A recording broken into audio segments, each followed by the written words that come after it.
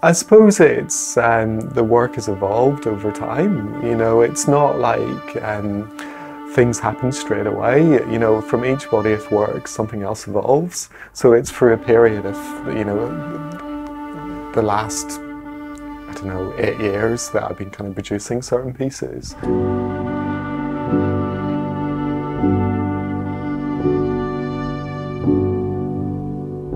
Um, so there's kind of a, a journey um, through kind of batches of work, you know. So I'd be kind of, I'd, at the moment, over the last two years, I've probably been kind of quite preoccupied with these kind of constructed vessels, which are kind of thrown in sections. Um, and they're still quite sculptural in a sense, but they and but it's still that they still kind of contain. You know, they can. They still they still have a glazed interior, and um, so there's kind of this. Um, I suppose this kind of questioning of functionality. You know, and a lot of people would kind of still, you know, would kind of go, there's kind of maybe somewhere for that. They, they think that they're kind of jugs or, you know, that they are kind of vases, you know, um, and that, that's okay, you know, that's fine, because um, I, I, kind of want that element of functionality, but I'm kind of, um, but for me, they're much more, you know, they're much more this kind of, the, the, kind of sculptural element to them and, a lot to do with kind of the way that they the, the light would fall onto them the kind of shadows you know the kind of surface you know they would be um, fired up to four or five times you know and they kind of have this um, engobe so it's kind of relayered and relayered and relayered and it's kind of painted on. So you kind of um, so it's very very subtle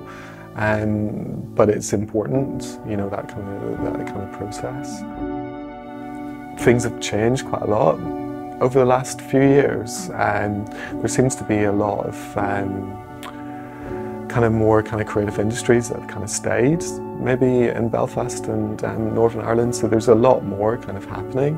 So um, otherwise maybe previously a lot of the, those kind of um, creative people would have kind of gone to other cities. You know, they probably would have moved away to set up the practice. But uh, for me, in um, I think it's quite interesting. I mean, obviously, I have to go. You know, I, I would show internationally, and I would go and meet collectors and galleries and have represent, representation. There's definitely. Uh, it always kind of surprises me how much of an audience that there actually is here that um, kind of value um, objects and, and there's a lot of support, you know, and there's kind of uh, much more people that are looking for kind of something different in some ways, you know, that um, has maybe a story or historical references or, you know, there's um, that has kind of a heritage or kind of has a value, you know.